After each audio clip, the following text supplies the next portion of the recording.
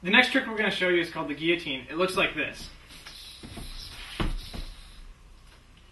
When you're doing this trick, you want to start off by throwing a strong breakaway.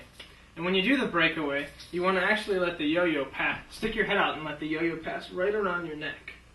Now before it comes around and hits you in the face, you want to turn your body and stand upright so that the yo-yo can pass around the side of your head and then across the front of your body and you can catch it.